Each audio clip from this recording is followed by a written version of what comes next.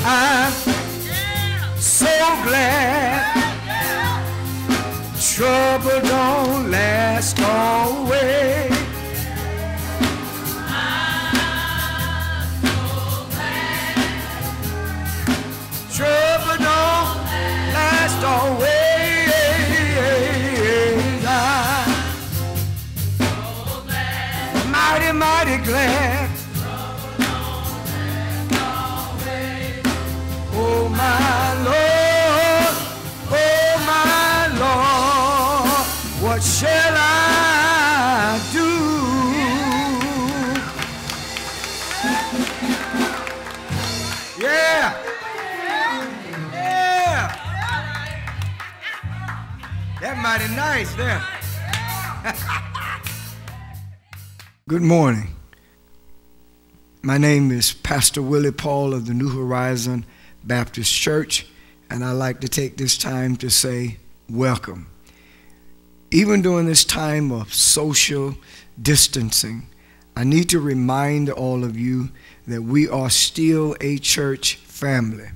Therefore, if any need arises, please call the church and leave a message. Our number is 423 622 2077. That's 423 622 2077. I also would like to remind all of you the importance of our tithes and our offerings.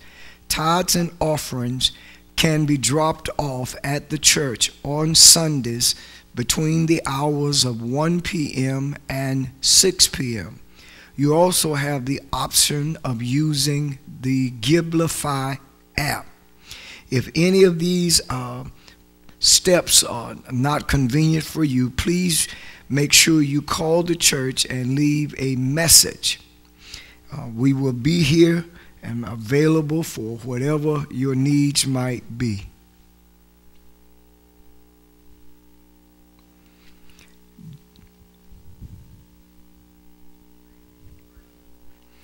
Let us now at this time pause for a word of prayer. Our Father and our God, we thank you once again for allowing us an opportunity to be in your presence and to introduce your word that we might gain strength, guidance, and most of all, that we might grow in such a way that you will be pleased with who we are. We pray for those individuals, or victims of uh, the coronavirus, all of the families who have lost loved ones. We are ever mindful of the fact of your awesomeness, even in a time of disaster. Cover us now as we make preparation to get into your word that we might grow and develop and allow our lights to shine in the midst of these dark moments. And we're going to be so careful to give you praise, glory, and honor. In Jesus' name we pray. Amen. Just before we get into the Word of God, um, you are all welcome as we prepare to read in unison our statement of preparation. And it simply reads Dear Lord, I come before thee as an empty vessel. Open my ears that I might hear. Open my eyes that I might see. Open my mind that I might understand. Open my heart that I may receive your word we have been dealing with a series of messages taken out of 1 Kings chapter 19. We have used as a theme for these messages the cause and cure of depression. The cause and cure of depression. Um, I think that it's very fitting at this particular time with what we are all dealing with that we understand that we serve a God who is still on the throne and above all, who has all power. We have already gotten deep into our message. So, what I like to take the time to do is simply back up and explain to our listeners today to bring you up to speed as to where we actually are at this time. We have already dealt with verses 1, 2, 3, and 4. First of all, we started our messages off in outline form talking about the report to Jezebel. And this was found in verse 1 of our text, which simply reads And Ahab told Jezebel all that Elijah had done, also how he had executed all the prophets with the sword. This is a situation of where Elijah had gone up on top of Mount Carmel with King Ahab and came out victorious um, in, in destroying uh, all of the false Baals of prophets that were present. Also, we move from the report because King Ahab had given this information unto Jezebel. So then we took a look at verses 2 and 3, and it is here that we discussed the response to the report. And this response was twofold. in verse 2 of that chapter, we looked at the response of Jezebel. And this is a statement you will find in verse 2 of the text after King Ahab had mentioned the uh, event to Jezebel. And verse 2 simply says, Then Jezebel sent a messenger to Elijah, saying, So let the gods do to me, and more also, if I do not make your life as the life of one of them by tomorrow about this time. So, this was the response of Jezebel after receiving the report. Then, in verse 3 of the text, we dealt with the response of Elijah.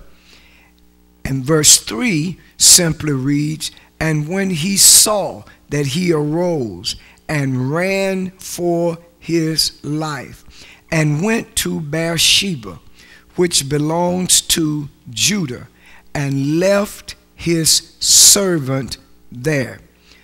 So the response to the report we discussed in detail was simply twofold the response of Jezebel, and then secondly, the response of Elijah.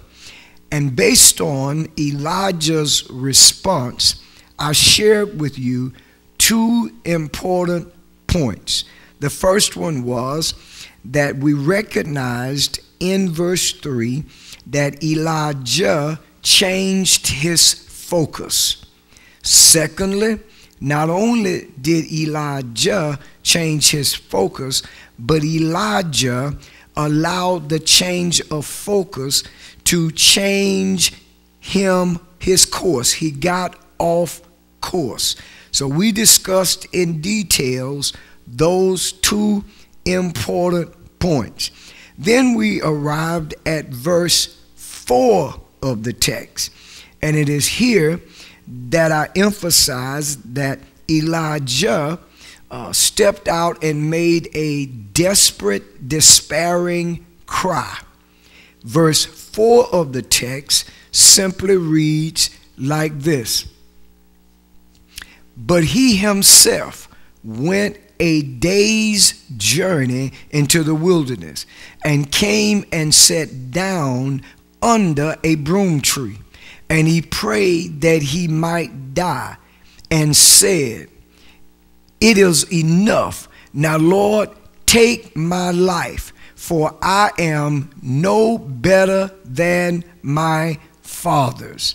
So we laid all of this information out, and then we arrived at the fact that now Elijah finds himself in a strange place under a broom tree or a juniper tree. And as he sat here, I laid out for us uh, bullets concerning what brought up or what led up to Elijah's spirit of depression. And I emphasize the fact that all of us have been there. First important thing we mentioned was that he was physically drained. Physically drained. That is, he simply was tired. Then, secondly, he was emotionally drained. Emotionally drained. Thirdly, he focused on his problem. Next, he was lacking in fellowship. And finally, he was lacking in faith. Now, in today's message, we want to continue from where we dropped off on last Sunday, and that is we now began to take a look at 1 Kings chapter 19, verses 5, 6, and 7. It is in these verses that uh, I used as a subtopic under our theme, and that is blessed in a strange place. Blessed in a strange place. I emphasize and remind all of you that all of us, right as I speak this very moment, may find ourselves in a strange place. What is happening across the country by our church doors being closed and shut down, we find ourselves in a strange place. On last Sunday, I shared with you two things of importance regarding Elijah in this strange place. In order to understand these two major bullets that will lead us further into our text, I want to read now for your hearing 1 Kings chapter 19 and verse 5. And it simply reads Then as he lay and slept under a broom tree, suddenly an angel touched him and said to him, Arise and eat. Arise and eat. Just looking at verse 5 of the text, I shared with you, first of all, the answer to prayer. And what we mean by that is, if you would back up in your Bibles, you would take note that in verse 4 of the text, Elijah prayed asking God to take his life. But when we arrive at verse 5, we recognize that God did not answer Elijah's prayer. And it just might be that, first of all, God had greater things and more for Elijah to do. The second thing that we emphasized was that of the angel's appearance. The angel's appearance. And that is, I shared with you that even in the midst of uh, being in a strange place, that Elijah recognized or we see that God shows up in Elijah's strange place.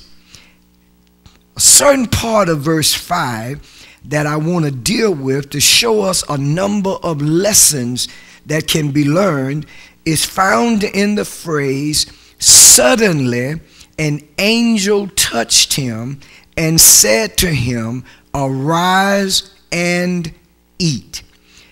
Now, now as we begin to take an in-depth study of this phrase, there are a number of valuable lessons that we see here. The very first thing that comes to mind is that we learn here that the presence of the Lord shows up in Elijah's strange place. He shows up. Before we go any further, I need to remind us that although many of us are in a strange place, some of us may have been in strange places even before the virus became an issue. The point is, I need to remind us that despite your strange place, that in order to understand the remaining of the message, you need to make sure you accept the fact that God will show up in your strange place. Now, the question is how is it possible that we can know God's presence and be guaranteed of His presence in our strange places? Well, first, we must understand this that God's presence can be experienced by those who truly desire it. In other words, despite your circumstance, despite your strange place, if you have a desire for God's presence to dwell strongly in your midst, He will show up. I will give you proof of the importance of your desire taken from a statement that um, David shares with us out of Psalm 27, verse 4. Listen to what David said. David said, One thing I have desired of the Lord, that will I seek, that I may dwell in the house of the Lord all the days of my life, to behold the beauty of the Lord and to inquire in his temple. And now we've looked closely at that verse. It's two things that David makes mention of in the verse that we might want to uh, discuss and be clear on. First, David mentions the house of the Lord. Then, secondly, he says his temple. So, the ultimate question is what does David have reference to when he says the house of the Lord or the temple? Well, first, David may be speaking regarding the tabernacle in Gibeon, which is nothing more than the temporary sanctuary he had put up the house and the ark of the covenant. Or it is possible that when David says temple, he has reference to the temple that his son Solomon was to build. But David could have used the word temple to actually have reference to the presence of the Lord. If that is the case, then that tells us that all of us as believers, when we find ourselves in strange places, that we must focus on what our real desires might be. I want you to keep this in mind that your circumstances in life does not determine your desire for the Lord's presence. In other words, you can never allow your circumstances to change what you desire. I may be in a strange place. There may be some things happening to me, but I cannot allow what surrounds me to interfere with my ultimate desire. So, the first thing that we must keep in mind is that God's presence can be experienced by those who truly desire it. That means his presence will go beyond your circumstance. Nobody but God can reach through troubled times and touch his children like he can. Nothing. No no better situation improving your circumstance won't do it. What has to happen is that you must stay focused with your desire and not look at your circumstances. Second thing I need to remind us of is that God's presence is often experienced in difficult times. Many times, when we as believers are confronted with trying times, we have a tendency to constantly pray, Lord, deliver me. We want out. We want God to quickly open up a door. We want to make a way of escape. But sometimes God will allow us to linger in our awkward situations, in our strange places. Sometimes God does not quickly take us out of the storms of life's problems. But one thing we must understand is that God does promise us. Now, let me make it very clear that you cannot lose bullet one and not grab just bullet two. You got to put the two together. That means now that there are moments that when you have the right desire for the presence of God, that God will show up at difficult times in your life. Once again, let me focus on the psalmist and his statement in Psalm 34, verses 18 and 19. Reading from the New King James Version, it simply reads, The Lord is near to those who have a broken heart and saves such as have a contrite spirit. he goes on to say, Many are the afflictions of the righteous, but the Lord delivers him out of them all. Now, notice what you will find in that text. He, he offers us deliverance, but he doesn't tell us the time. That means that there are times, there are moments that God will leave you in that storm, leave you in that strange place. So we must focus on the idea that if I have a strong desire for his presence in difficult times, that my desire will remind me that God is going to provide a way of escape. And the reason that is important simply because God promised to be close to those individuals who have broken hearts, those of us who get troubled sometimes in our spirit, being in a strange place. God promises us that He will provide a way of escape. And if you don't get nothing else out of the message, make sure you understand this. Never allow Satan to wreck your desire because God may not take me out of the storm, but God will be in the storm with me, and the stronger my desire becomes, the less I focus on my circumstances. This is important because God promises to be our power. He promises to provide us with courage. He promises to be our wisdom. So we must maintain two important things my, our desire for his presence. And secondly we must never lose sight that although i am confronted with a difficult time god's presence is revealed in those moments.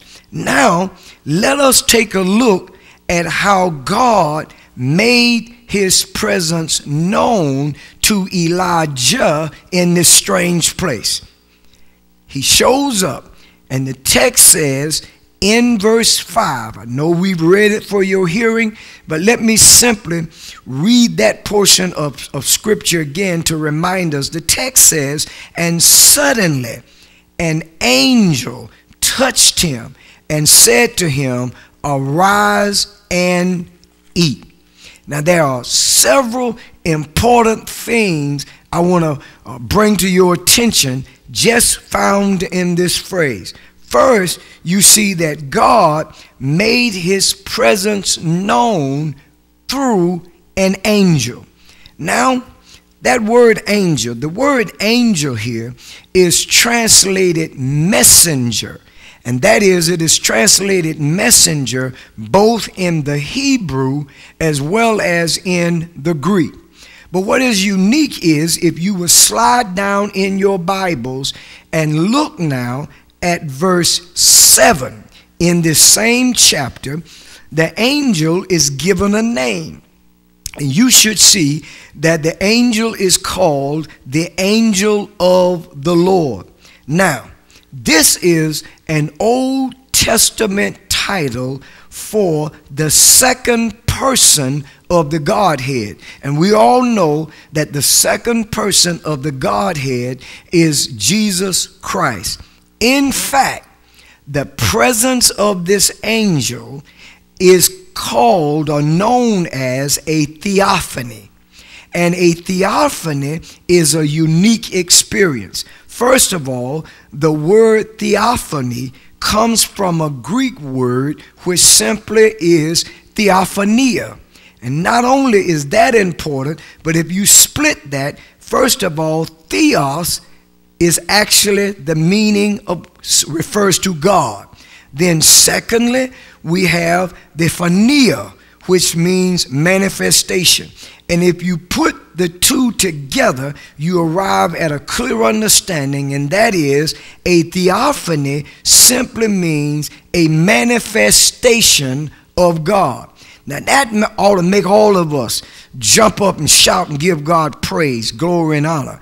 And simply teaches us that even in the Old Testament, that in dealing with Elijah, God saw a need to show up. So the Lord showed up in Elijah's strange place.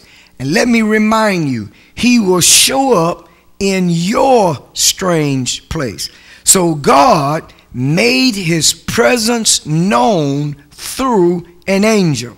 The second thing that I want to bring to your attention is this that God sent an angel to Elijah to minister to him. Now let's talk about that for a moment. Notice what the angel was not sent to do. The angel was not sent, first of all, to thrash him. Secondly, he was not sent to rebuke him for his fearfulness, nor was he sent to answer his prayer request found in verse 4 of the text that God might take his life. So the first thing is God sent the angel not to do any of those things. The second thing I need to bring to your attention is that God sent the angel while Elijah was asleep. Now you might say, what is so unique about all of this? Well, let's go in depth that we might get a clear understanding. Elijah was not the only one found in Scripture that God sent an angel to wake him up. The Apostle Peter in the New Testament was also awakened by an angel, according to Acts chapter 12, verse 7, which reads, Now behold, an angel of the Lord stood by him, and a light shone in the prison. And he struck Peter on the side and raised him up, saying, Arise quickly. And his chains fell off his hands. Some of us are just like Elijah or even Peter, and we need to be awakened by God through an angel. There are two major areas that I want to quite quickly tap on. First of all, some of us are asleep physically. That simply means that there are believers, there are individuals that come into the house of the Lord constantly, Sunday after Sunday, and, and, and you go to sleep. You physically fall asleep. Then there are those of us who are not physically asleep, but we are spiritually asleep. Doesn't matter, either one, physically or spiritually. If we find ourselves in either one of these categories, it is extremely important that we recognize we need to be awakened. We, as believers, need to wake up and be about our Father's business. I think it takes a, a, situation, it takes moments, and I'm hoping and praying that even as we find ourselves today in strange places, all because of the coronavirus, that we recognize we cannot afford if this does not wake some of us up, I wonder what kind of relationship we actually have with God. These kind of trying times, these are moments we need to allow Him to just wake us up so that we as believers will be about our Father's business. The third thing I need to share with you is that I want you to notice that God knew best what Elijah needed. God knew that his tired and weary child, first of all, needed food and he needed rest. But he also, as I shared with you, needed spiritual awakening. Notice now that Elijah was awakened that he might receive nourishment. Peter was awakened, according to the book of Acts, that he might walk out a free man. This teaches us that God knows best how to minister to his children. Many times, as believers, we think that it is our job. We do this even in prayer. We don't trust God. We feel as though we are giving God guidelines. We're giving Him a recipe. We're telling Him things that we see need to be done. And we got it all messed up. We need to understand it is not our job to move forth with that kind of talk with God. God's angels are sent to minister unto us. So we need to sometimes recognize how we pray, how we communicate with God, how we worship. And that is, we got to give God full control, total control, because He knows best how to minister to us. I think sometimes, even in the local church, we mess up in various ministries because we bring to the table in leadership positions over various ministries our own agenda as where we really should take a moment and say god what do you desire? What is it that you see needs to be done? God will send angels to watch over us because god knows best what we need. Let's go a little bit further and, and, and talk about the fact that God's angels are really his special ambassadors. He sent them that they might minister unto us. Let, let me prove a few things. First of all, the writer of Hebrews in chapter 1, verse 14, made this statement Are they not all ministering spirits sent forth to minister for those who will inherit salvation. That's a powerful statement. You have to recognize that our ultimate goal is that that statement are for those who will inherit salvation. So that means for those of us who are in the family of God, we have the blessed assurance of knowing that God dispatches his angels that will watch over us. If that's not enough, let's go a little bit further. The psalmist in Psalm 91, verse 11, says this to us For he shall give his angels charge over you to keep you in all your ways. That means all my ways. That is my actions, everything that I do.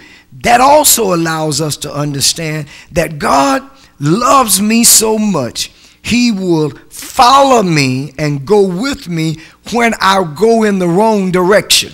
He is still with me. I can prove that because in the Great Commission, Jesus himself said, Lo, I am with you always. And that is extremely important for us as believers to understand that we must develop this attitude that no matter what goes down, the presence of God is with me simply because he teaches us in the word that just as he dispatched an angel to watch over Elijah, he likewise releases angels to watch over us. I can recognize and see already that many of you all are still yet doubtful of the importance of God allowing his angels to minister to us. But before I give you some examples, I, I, want you to uh, quickly understand that this is why scripture teaches us we have to be so careful how we deal with strangers, how we relate to people. You never ever know who it is God has chosen to be a blessing unto you. So you have to be careful sometimes how you talk to people. And we as believers sometimes talk down to folk, especially people that we view or consider being less than we are. So we have to be cautious that you never know who that person might be. Now, before I go any further, let us take a look now as we wrap this up of, of, of some examples. Throughout Scripture, the Word of God teaches us that angels are dispatched to minister unto us. God used angels to minister to his people. Let me prove this. I'm going to go to the Old Testament and I want to talk for a moment about Daniel. Daniel, there's a statement uh, found in Daniel chapter 6, verse 22. It is here that God used an angel. How? This angel rescued Daniel from being devoured by lions. Listen to what the text says. My God sent his angel and shut the lions' mouths so that they have not hurt me because I was found innocent before him and also, O king. Now think about this. I have done no wrong before you. Now, you may be thinking for a moment, well, that was a physical lion. But let me remind you that we may not be dealing with a wild lion on the loose, but the enemy is like lions. Scripture teaches and helps us say he walks around like a roaring lion, seeking he whom he may devour. And there are moments that that that the enemy uses people that means that there are people, there are individuals who, who dog us, mistreat us, say negative things, dig ditches, and hoping that you will fall into them. You don't have anything to worry about. The reason why is because just like he shut the lion's mouth that sought to destroy Daniel, he will shut the enemy's mouths. He didn't ask us to do anything against them. Got to be careful. Our focus when we find ourselves in the lion's den is to have a desire for God's presence. And if we have a desire for God's presence and allow Him to come into our lives in such a way that we can rest in peace, God will take care of the lions that surround our lives. If that's not enough, let me take you to Mark in the New Testament, chapter 1, verses 12 and 13. It is here that we recognize that the angel attended Jesus during his time of temptation in the wilderness. For the text says, immediately the Spirit drove him into the wilderness, and he was there in the wilderness 40 days, tempted by Satan, and was with the wild beasts, and the angels ministered to him. It's very important that we don't just jump into that text and focus directly on Jesus in, in the wilderness. Do not lose sight of the fact that in verse 12 of that verse, of that, that uh, section, I made mention is that he was led into and we, we sometimes find ourselves in places the Holy Spirit didn't lead us to be in. We went on our own. But never lose sight. And that is, if you are in a strange place, this is not uh, giving you permission to go in the wrong direction. I just need you to understand all of us slip up and find ourselves in places we have no business being in, but yet God is there with us. He was led by the Spirit into the wilderness. And not only that, but we'll find ourselves that moments in life, our strange place becomes our wilderness. And that is, I need to remind you that the angels again will meet our needs in our wilderness. If that's not enough, let me take you also to Luke chapter 22 and verse 43. It is here that the angel strengthened Jesus in the Garden of Gethsemane. For the text says, Then an angel appeared to him from heaven, strengthening him. Now, if Jesus needed strengthening, how much more should we as his children nobody is so pseudo holy so all that that you don't need to be strengthened we all get to a point in life that there are moments where we, we feel like we are moving on our last but let me remind you god once again steps in when we are at our lowest. Sometimes He allows us to drop down to our lowest so that when He steps in, we can't get an attitude that when we begin to rise back up, that is something that we ourselves did. But notice in the verse, the angels were used to minister to Jesus. And we must recognize that we, as a follower of Christ, need to be strengthened from time to time. Then finally, let me close by using the example of the Apostle Paul in Acts chapter 27, verse 23. An angel encouraged Paul on board a ship in the midst of a storm. Listen to what the statement says. For there stood by me this night an angel of the God to whom I belong and whom I serve. Let me remind us now that just as Paul needed encouragement, there also is important for us to connect his encouragement with that of the storm. It is important, do not lose sight of this, that when you find yourself in a strange place, sometimes we hang around the wrong folk and they provide for us wrong information. If I'm already in a strange place, I don't need to hang around other folk in a strange place that can't help me. All of us need a word of encouragement.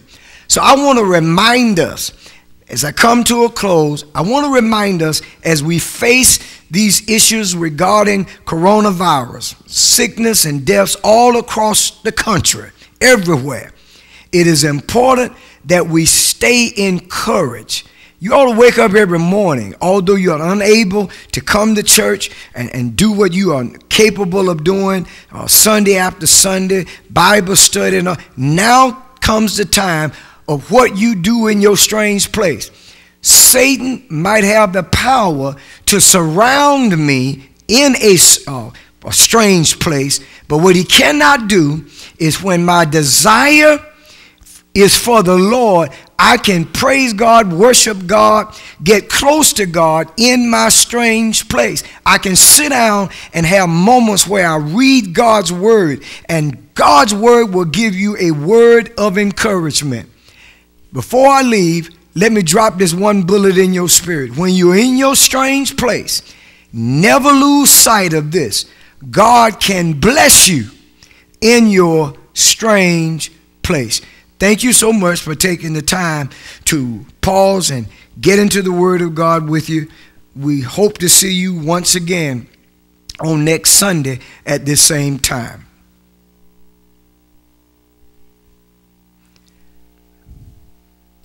As we prepare to close, our closing meditation says, Dear Lord, now that we have heard your word, help us to become doers of the word by loving others, caring for the needy, and sharing the gospel.